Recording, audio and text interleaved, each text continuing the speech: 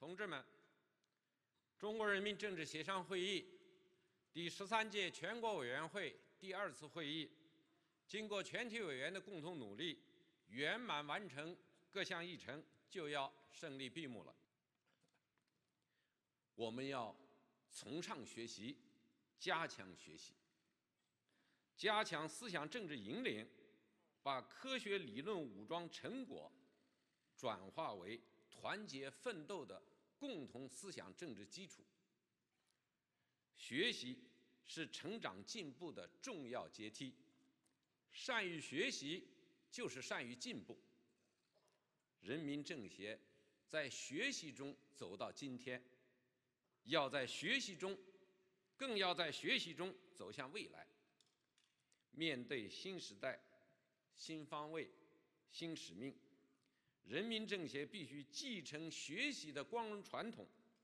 把学习作为各级政协组织和广大政协委员的政治责任，在履职实践中提高思想政治水平，悟原理、求真理、明事理，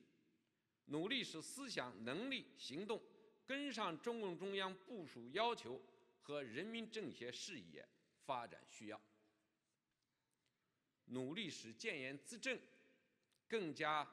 见之有方、言之有理、资之有效。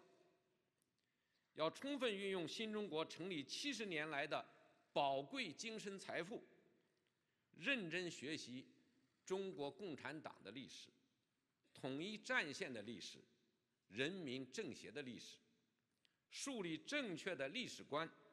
深刻理解美丽的社会主义现代化强国做出新的更大的贡献。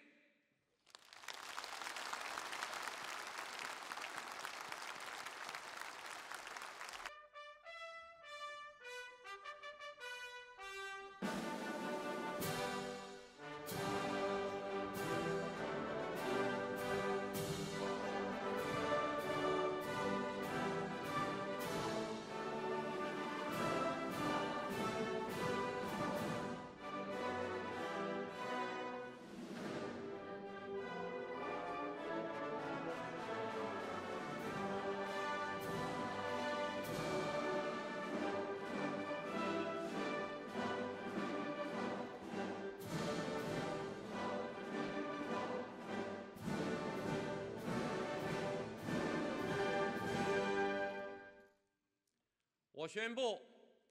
中国人民政治协商会议第十三届全国委员会第二次会议闭幕。